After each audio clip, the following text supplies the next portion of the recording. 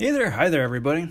So today is a speed takedown of Realm of Legends Winter Soldier with a 6 star rank 3 Elsa Bloodstone.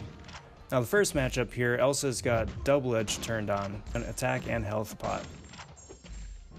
I'm running a synergy team here with uh, a KO'd Nick Fury for an added Fury boost. I'm running Tigra to keep my munitions running longer.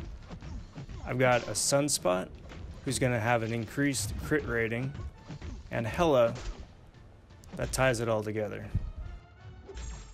So going into the fight here, I want to burn the medium bullets right off the bat. Having a depleted cartridge means I have increased power gain, increased power gain means I get to a special 3 faster. And for a longer fight like this, I want to get the 3 cruelties up ASAP.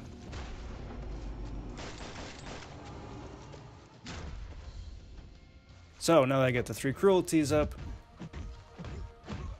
go through a combo. What I want to try and do is stagger the light and medium bullets. Each time one of them are depleted, then the cruelties are refreshed. The idea here for this fight is to throw up as many damaging debuffs as possible because that's where most of her damage is going to be coming from right now. So this whole bit is playing smart, cycling light and medium bullets, keeping up the three cruelties, and just laying into this guy.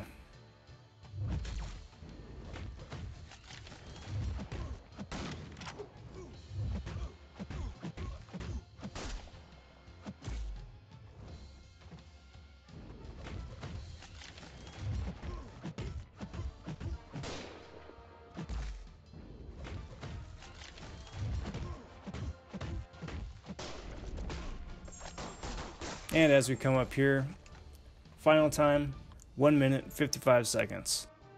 Awesome.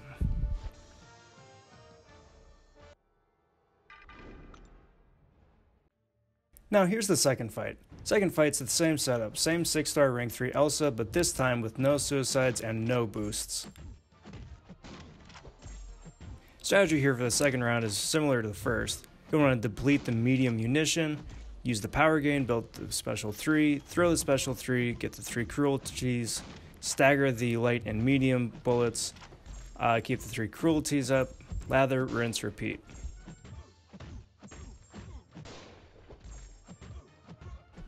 Now because Elsa isn't boosted here, her damage over time effects are slightly less than they would be otherwise.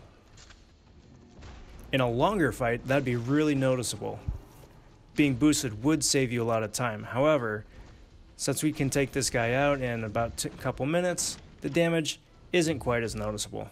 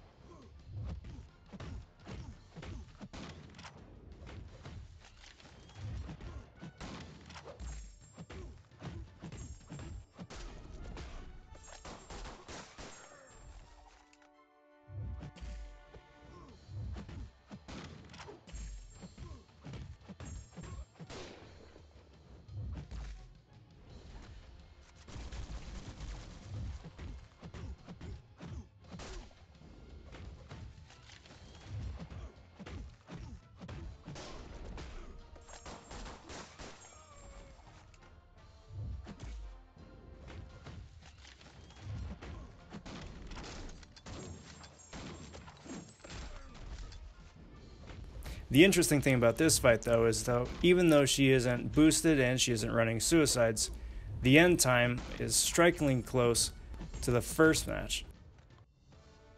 Good to know.